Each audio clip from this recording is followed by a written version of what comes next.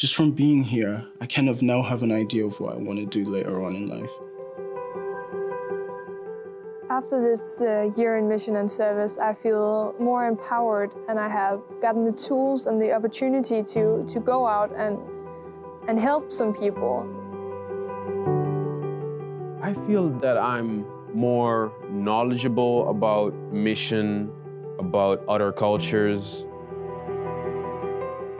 Being here prepared me for mission in the sense that I have gotten to think about more of like the missionary work of it and um, how to approach people.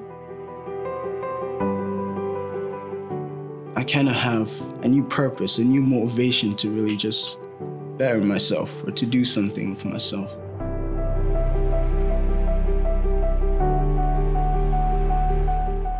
Newbold has a lot of different campus ministries. And as a part of the course, uh, there are 10 hours of uh, volunteer work every week. I started out really quickly. I wanted to get to work. I wanted to do something, make a difference. The volunteering we did was actually quite varied. You know, um, I worked in a toddler group. We did stuff around campus, such as when there was events going on. There's an outside campus thing that's called um, Gillett's Hill, which is a community garden. I really enjoyed being there because we are just doing gardening, but the garden itself is for people with special needs, and it's been really nice interacting with them.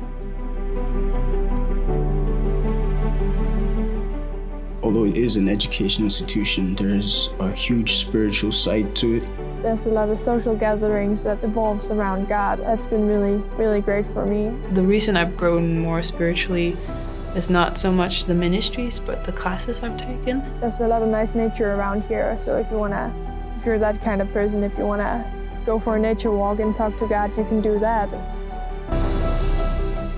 My mission project is gonna be based in Sri Lanka. We're going to Serbia for three months. And it is about going to a refugee center that they have in the capital of Belgrade. Not knowing exactly what I'm going to do kind of has this excitement in me. I'm really looking forward to getting to know some people that's been on this refugee journey. It's going to be a different experience like nothing I've ever done.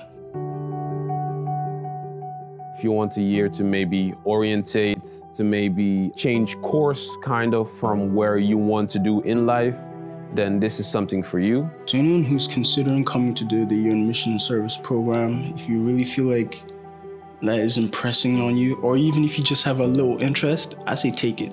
I definitely would 100% recommend it.